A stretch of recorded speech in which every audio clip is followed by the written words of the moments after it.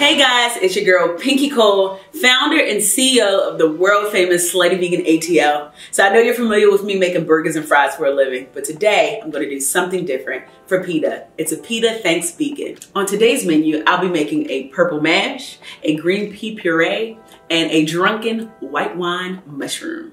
Let's get started. First, soak the mushrooms in onion mix and four ounces of vegetable broth and set aside.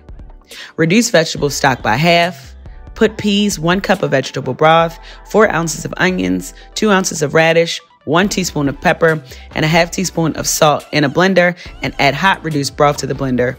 Blend until puree is smooth and set aside. Add butter over medium heat, and once the butter is melted, and onion saute until tender and add mushrooms. Place potatoes in three cups of water over high heat, bring to a boil, and boil until tender.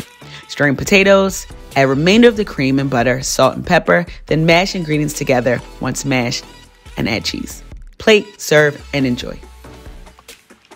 Mm. Mm-mm-mm. I should open up a restaurant. That's my time. This is a PETA Thanks Vegan. I'm so excited that you decided to tune in with me. Mask up, social distance, make all the wonderful, amazing, guilt-free food items that you can, and I hope you have a happy holiday.